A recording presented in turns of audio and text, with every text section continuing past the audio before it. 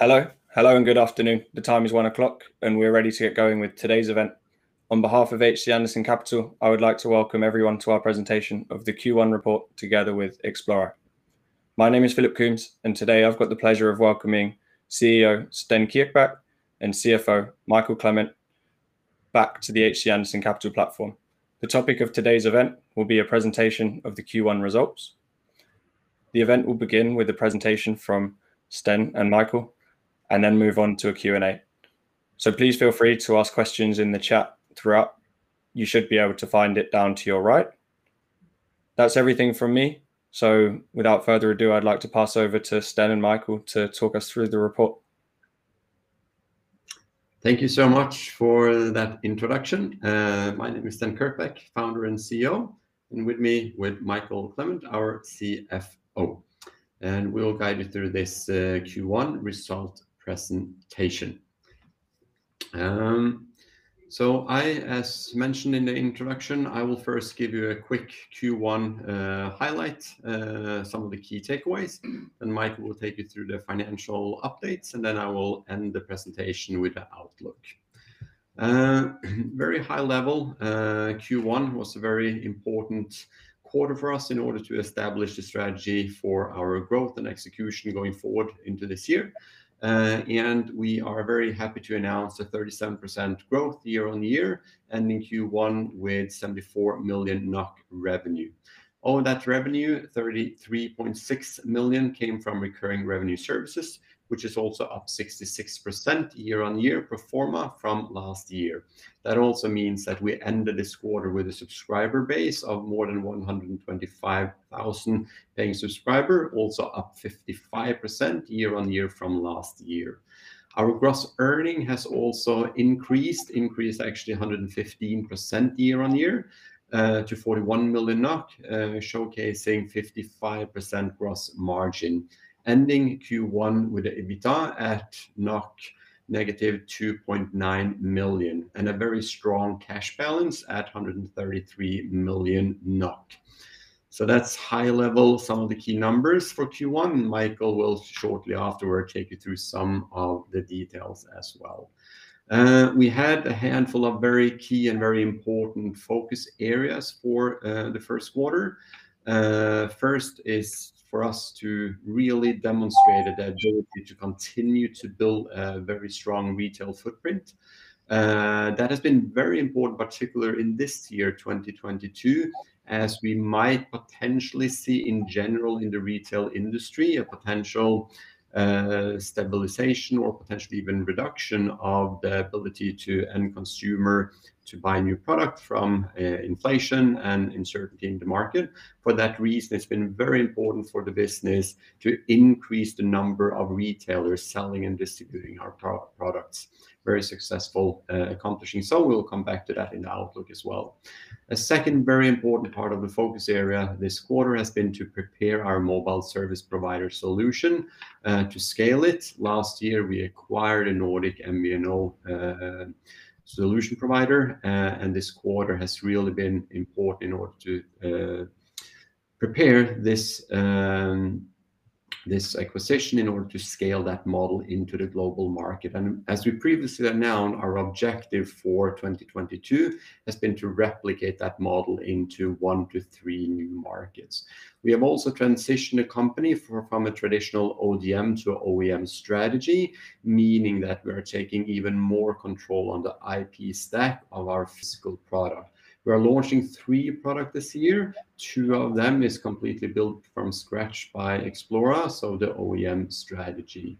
We also successfully managed a quite a challenging supply chain situation across the world.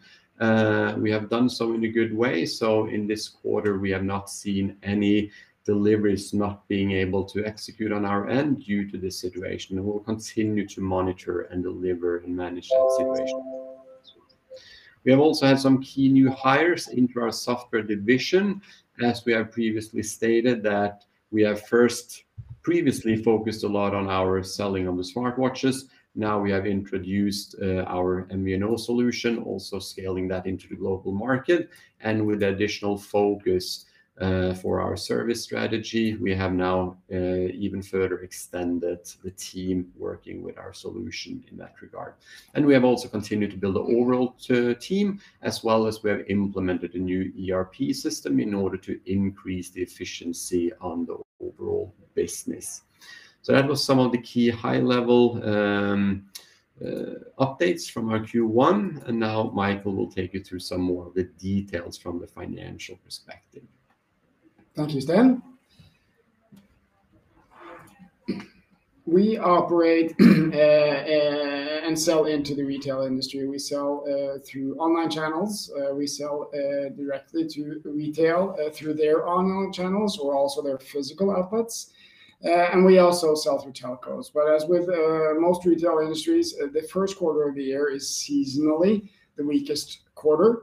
Uh, and the momentum builds through the year into the all-important fourth quarter of the year.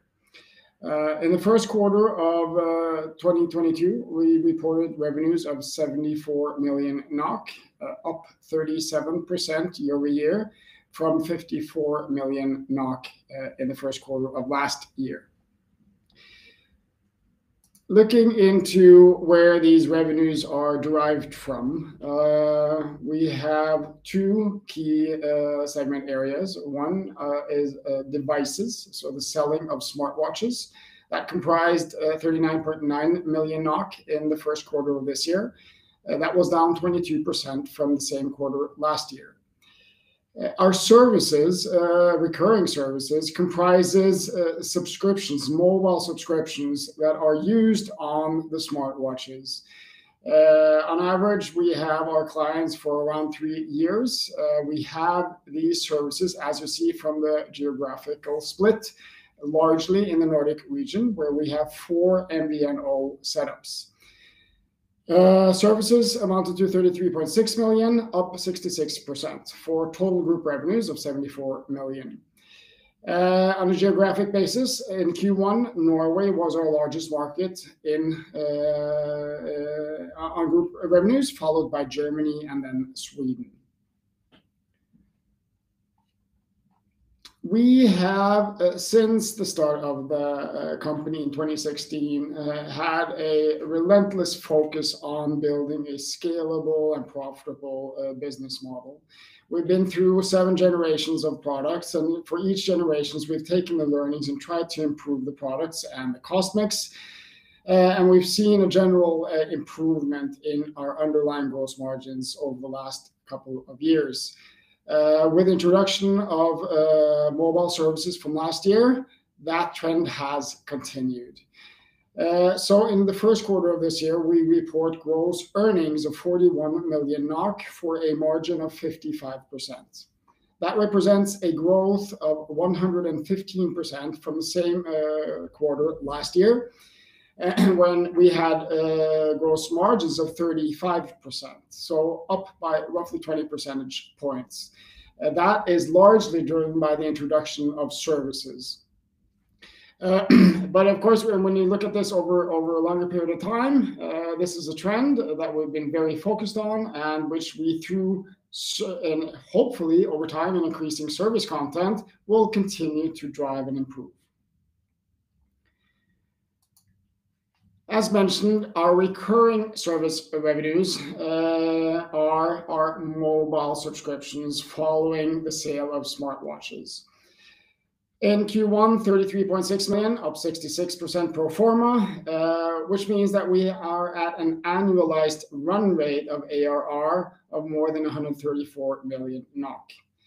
Uh, over the last four quarters, four Q rolling, we're at uh, 120 million NOK, up 74% uh, from the same period of last year. And we exit the quarter with 124,000 mobile subscribers.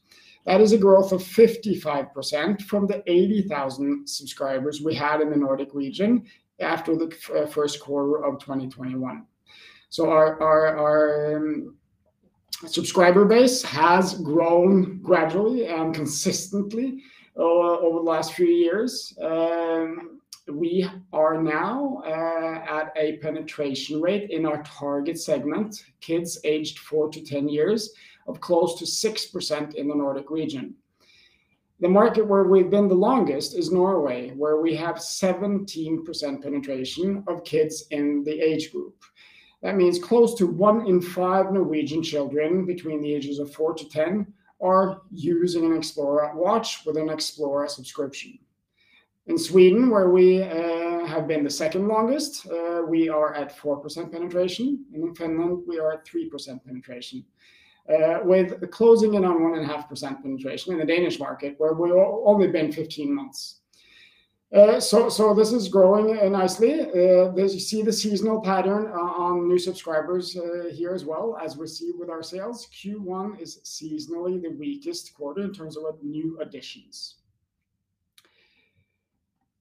Moving then on to quickly to the to, to the numbers, you see the P&L, 74 million NOK in revenues, of which Um, 33.6 million from recurring uh, service revenues, uh, gross margins of 55%, with gross earnings up 115% year-over-year, with EBITDA at -2.9 million, an improvement from a loss of close to 11 million in the first quarter last year.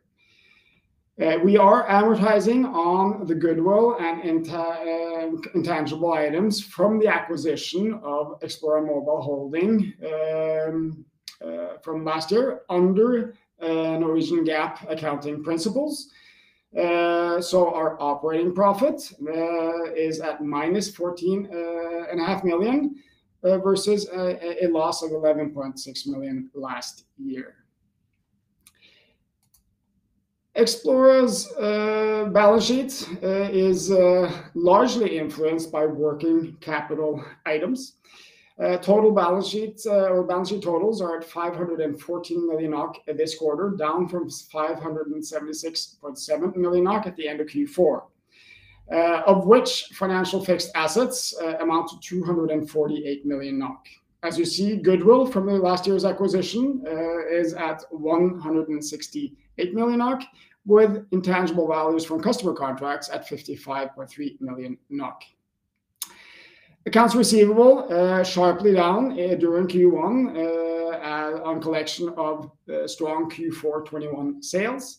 Inventories are slightly down on seasonality from Q4 into Q1, and we exit the quarter with 133.5 million NOK in cash. We have interest-bearing debt of 29.2 million, uh, down uh, 0.6 million uh, from Q4, and we have an equity ratio of 75%, with equity at 387.7 million at the end of Q1. Finally, taking a brief look at the cash flow in Q1. Um, cash from operating activities totaled 21.7 million positive, uh, of which cash earnings uh, was a -3.5 million, and we had a working capital release of 25.2 million from lower receivables and inventories, offset also by lower accounts payable. Cash from investment activities this quarter was -27.5 million. 20 uh, million was an earn-out payment for the remaining payment of Xplora Mobile Holding last year, uh, acquired last year. The remaining 7.5 million uh, is um, largely capitalized development costs of in excess of 5 million NOK, and the investments in new ERP systems of around 2 million NOK. Cash from financing uh, -0.5 million on debt payments, with a net change in cash of -6.3 million, for ending cash balances of 133.5 million at the end of Q1. So with that, uh, I'll leave the word over to Sten again for a uh, dive into the road ahead. Thank you so much, Mikael. Um, let's look into the future and see what that will bring. Um, let's see. I would like to start that section by summarizing some of our key strategies for growth in 2022. Uh, first and foremost, as mentioned also in the introduction, a very strong focus to continue to develop existing and new markets to drive revenue growth. Uh, secondly, uh, it is to replicate our successful Nordic business model with the MVNO setup into one to three new international markets. And the third is to introduce new services in order to support and build recurring revenue streams. So that's the three high-level strategies for growth in 2022. How to make this happen in a somehow more challenging year in general from the consumer market, 2022 versus 2021. First and foremost, we will have a very clear focus to continue uh, to focus on our very successful markets per today, which is particularly in the Nordic and the German market. We'll continue to build strong omni-channel presence in those markets, Uh, investing in our retailers, in our telco, and in our distribution partners. And then, of course, we'll continue also to build new distribution partner into new market. In particular, U.S. will be important market for growth in 2022. We'll also select in some particular markets, given the trends we are seeing in the retail market currently. In some market, we'll continue more to focus on our online channels, where we can more so control uh, price points as well as additional marketing tools to be executed. We'll also then, of course, um, focus on our connectivity strategy outside of the Nordic market, allowing us to increase the revenue per customer as well, adding connectivity, our own Xplora Connect. And then also we will monetize on our uh, position to launch three new products into the market in 2022. And always we see increased interest from our distributors, our retailers, and our telcos in the years when we are introducing and launching new products. This is the first year we'll actually go to market with three new connected product. And also, we will be investing even more into our sales organization to continue to have even more focus on sales.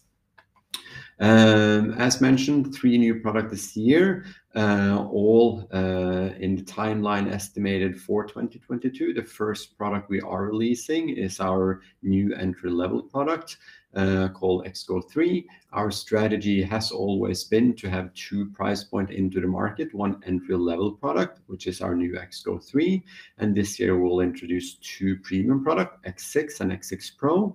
And the key differences on those two products is that the X6 Pro will be launched as an eSIM product with even higher standard and functionality on the product. We have successfully been the first company to execute and roll out a eSIM product into the market.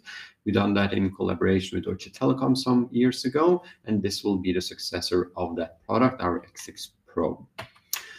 Um, we then also are very happy to announce our first really big retail collaboration in the U.S. market. Um, we announced that quite quickly actually after our presence in U.S. After two years of lockdown, we uh, had the opportunity to start to establish our uh, offices in in U.S. immediately after this year's CES in January. And we recently announced the collaboration with Walmart, and we are preparing to launch the world's largest retailer. Uh, um, Walmart will list the full line of uh, smartwatches we are carrying initially to be sold online. We have now also uh, recently announced a collaboration with Target, also one of the largest retailers in U.S., uh, for our category.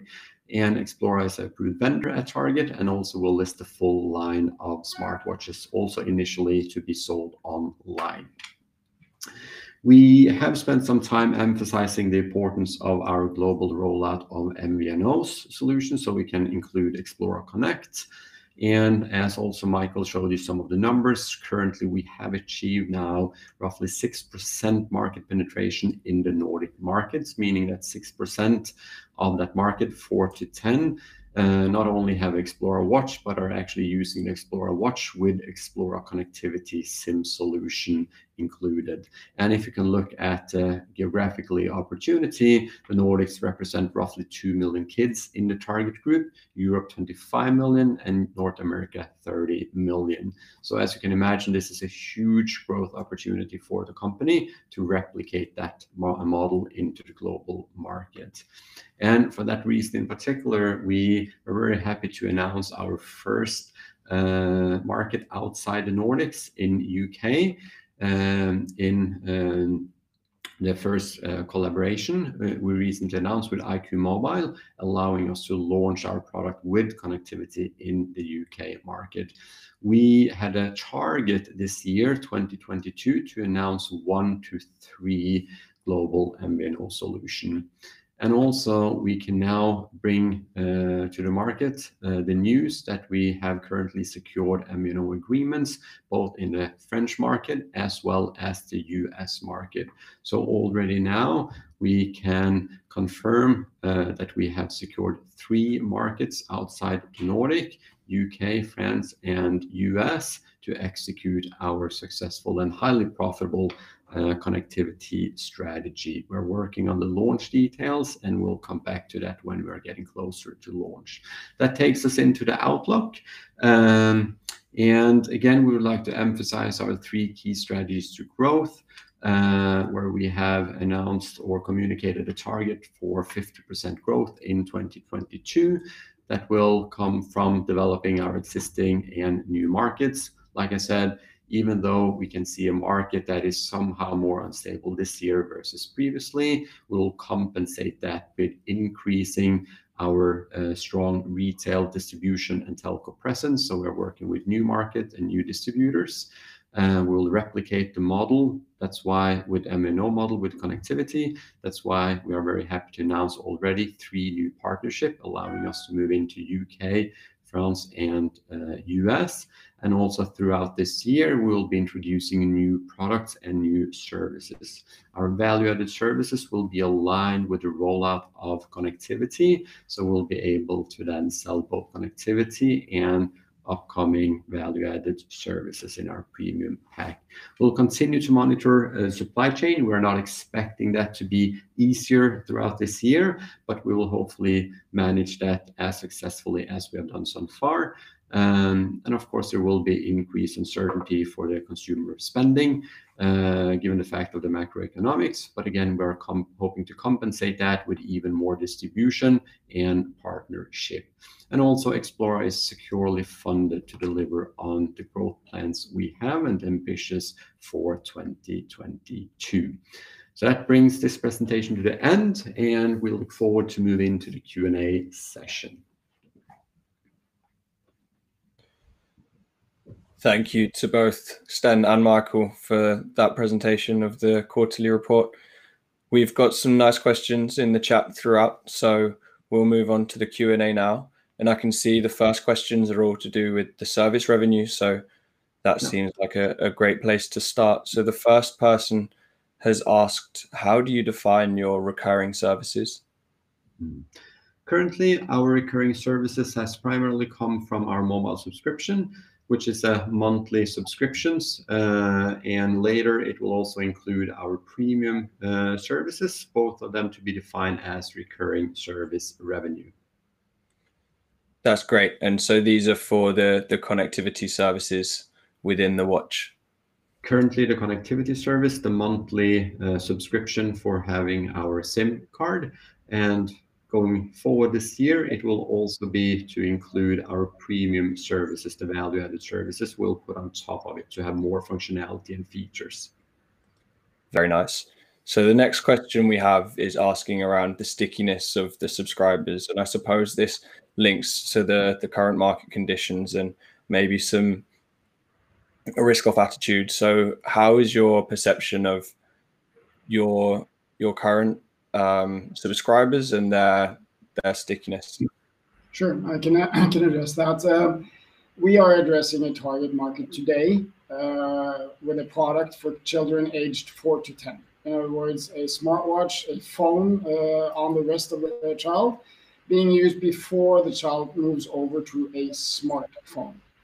Uh, four to 10 average is around seven years uh, of age, and we know that at around uh, the age of 10, the children move on to the smartphone. So we have today our subscribers for an average of just in excess of three years. That has been relatively stable over time and between the four markets that we are in, Norway, Sweden, Finland, and Denmark. Um, we uh, so uh, and the churn that we have uh, is then mostly as a result of the children moving on to a smartphone. We are working on ways to address that.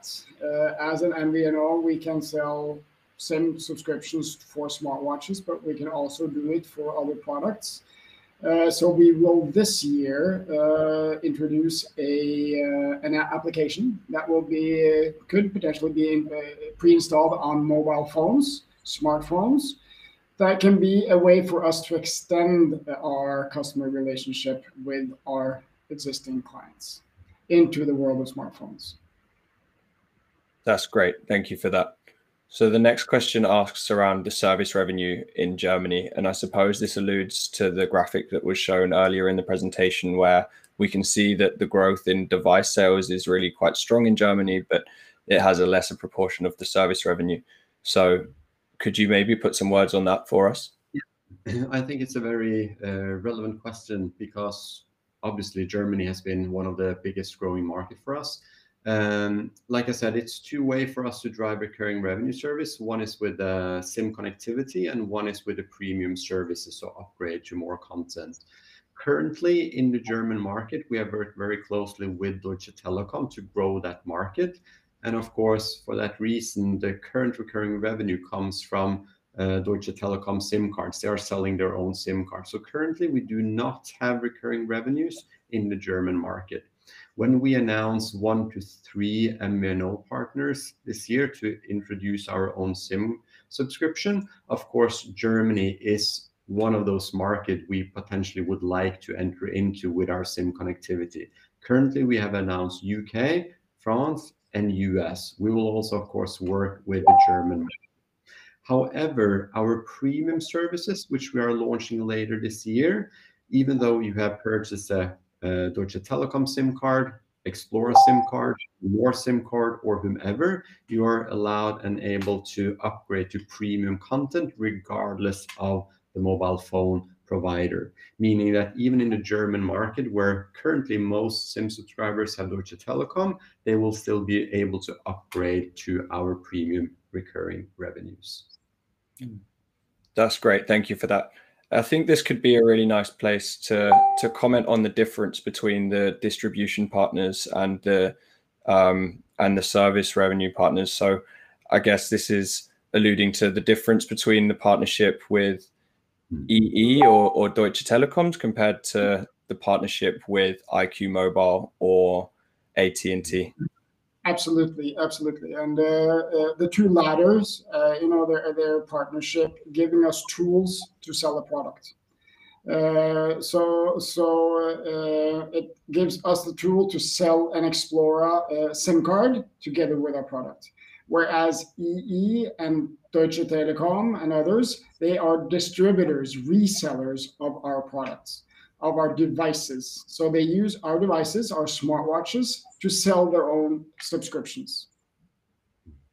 And also to add on that, we normally divide the market into three big channels: online, retailers, and telcos. The two first market, online and retailer, we will try to sell as many as possible watches with our own SIM connectivity. With the telcos, they would, of course, like to sell their own SIM connectivity, but also, even though they are selling with a Deutsche Telekom SIM, we can still drive recurring revenues from our services. Online and retail, we'll try to bundle our watches with our own SIM connectivity, SIM cards. That's very nice. And I suppose these, I suppose Xplora is free to sell both its own SIM cards and have the partnerships within the same markets. There's no barrier there? No. Great. Great. So we'll move on to the next question, which asks: Given the current market conditions, has there been a change in your focus from growth to maybe more prioritizing cash flows? Or is it not in the... Maybe it's not, it's not in the Xplora DNA to change the strategy, looking looking beyond the Nordics? I think it's more so what, what I said initially and what we already had defined as key strategies for growth in 2022. Uh, I think for us, it's been important to emphasize the acceleration of even more distribution partners, uh, potentially uh, weighing up for decrease of sale per store. We add that to have more stores selling our product. But then, of course, we have this very nice effect of introducing our MVNO solution outside of the Nordics because mm. not only is it a better onboarding and customer experience for the customer to just open the box and activate the SIM card, it's already there. However, that also dramatically increases the revenue per customer and the profitability per customer as well. So this strategy really aligns well with both growth, but also provide us a lot better profitability, which will be, of course, important in today's market. Yeah, and finally, I mean, also with with connectivity, uh, working capital wise is very beneficial uh, compared to sales of devices. So, uh, so there are many many factors backing that strategy. That's great. Thank you for that response. The next question we have is regarding your recent announcement with the partnership with Roblox and the, the co-development there. And it asks whether there are plans to build more of these partnerships within the gaming industry. Mm. Potentially, yes. Uh, and of course, we carefully selected which platform would we like to explore our first collaboration like this. We ended with Roblox. We're very excited to see how this collaboration and this uh, project uh, will turn out. We are very optimistic about it because it's a huge platform relevant for our target group. And of course, if we see increased engagement uh, and value in that regard, we have already defined our platform to be agnostic not only to hardware we put on, but also integration toward such partnership. If you recall, we some years ago already started to work with Sony PlayStation and did very exciting integration in that regard. Roblox is our next kind of very exciting partnership in that direction. And if it turns out to be a success as we hope, uh, we will definitely explore even uh, more such uh, collaborations. That's great. Thank you for that. I can see that we're out of questions and also out of time. So it's a good place to to round off here. So I'd like to say thank you both to Sten and Michael and to all of the viewers for joining us today. And hopefully we will see you again on the HC Andersen Capital platform soon. Thank you. Thank you. Thank you so much. Cheers. Bye-bye. Bye.